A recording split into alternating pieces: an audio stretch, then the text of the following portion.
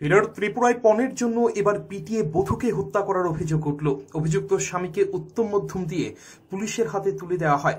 সিধাই মোহনপুর হাসপাতাল চেমভুনি এলাকার বাসিন্দা কাজল মোদক প্রায় তিন বছর আগে সামাজিকভাবে বিয়ে করে এলাকার এই দেবিকা সাহাকে অভিযোগ বিয়ের পর থেকে স্বামী পণের জন্য স্ত্রীর উপর নির্যাতন শুরু করে। অবশেষে ছাব্বিশ আগস্ট কাজল মোদক স্ত্রীকে বেধরক মারধর করে বলে অভিযোগ। এরপরই গুরুতর অসুস্থ হয়ে পড়েন দেবিকা। তাকে জীবিতে ভর্তি করানো হয়, কিন্তু শেষ রক্ষা হয়নি।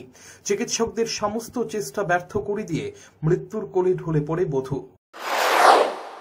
আরম্ভ হয়েছে নির্যাতন ফিজিক্যালি টর্চার এরপরে একটা বাচ্চা হয়েছে, এরপরে আবার টর্চার আরম্ভ হয়েছে, এরপরে থানা কেস দেওয়া হয়েছে। থানা যাওয়ার মেডিসিন করে দিয়েছে ম্যাডামে মেডিসিন করে দিয়ে আইয়া হ্যাঁ এরপরে বলছে আলাদা করে দিয়েছে আলাদা থাকতো বড় ভাইয়ে চেষ্টা করছে ভালো করবার লাগে।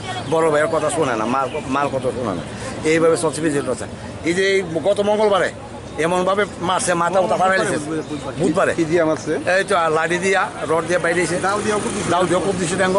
এরপর বাইরে এসে এবারে বৃহস্পতিবারে হসপিটাল আনছে।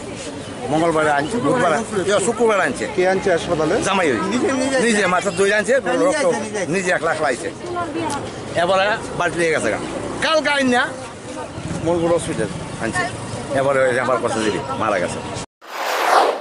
ঘটনায় এলাকায় চাঞ্চল্য ছড়িয়েছে। মৃত মহিলার বাপের বাড়ির লোকজন উত্তেজিত হয়ে অভিযুক্ত কাজল মধুককে উত্তম মধ্যম দিয়ে পুলিশের হাতে তুলে দে।